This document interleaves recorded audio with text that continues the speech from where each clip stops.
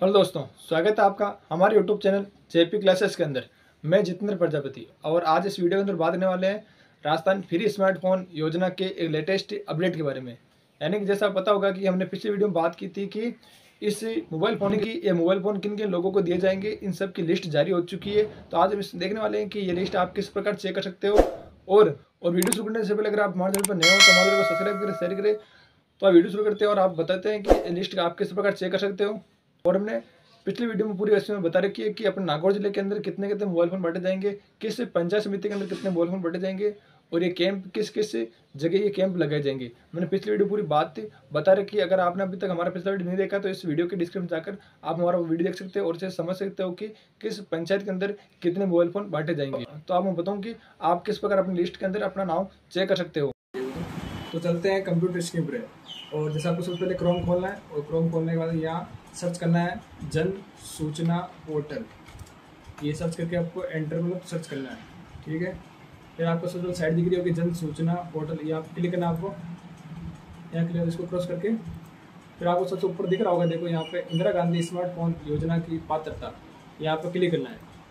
यहाँ क्लिक करने के बाद में आपको नीचे दिख रहा होगा एंट्री योवर जनाधार नंबर यहाँ आपके जनाधार नंबर डालना है।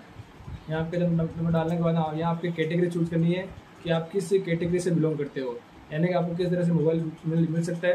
यानी कि बता रखा है विधवा एकल नारी या नरेगा में स्वादरी या फिर इंदिरा गांधी शहर योजना के पचास दिन के रोज़गार, या फिर छात्रा अगर बता रखा है अगर कोई लड़की पढ़ती है नौ से बारह तक, सरकारी स्कूल के अंदर उसको चूज़ करना है। यानी कि अपनी कैटेगरी अनुसार चूज़ करके आगे सबमिट करना है। जैसे मैं करता हूँ फिर नरेगा की स्वादरी दिन, आगे सबमिट करता हूँ। सबमिट करने के बाद में अपने जनता कार्ड के अंदर जितने भी लेडीज़ का नाम होगा सारा आ जाएगा। जैसे कि मुखिया का नाम पे सर्च करता हूँ मैं। सबमिट करके सबमिट करता हूँ उसका आता है, आप इंदिरा गांधी स्मार्टफ़ोन योजना के लिए अभी पात्र नहीं है। इसका मतलब ये जन आधार कार्ड अभी पात्र नहीं है इसमें बता रहा अभी पात्र नहीं है। यानी कि प्रथम चरण के अंदर ये पात्र नहीं है, और अगर यहाँ पात्र होंगे तो आप यहाँ लिखा जाएगा कि आप इस योजना के लिए पात्र है। और जैसा कि आप लोग समझ गए होंगे कि हम अपने जन आधार कार्ड के माध्यम से हम चेक कर सकते हैं, और आपको बता देता हूँ कि अभी सो, जिनके नरेगा में स्वास्थ्य हो रखी है, उनको भी अभी प्रथम श्रेणी के अंदर नहीं रखा गया है।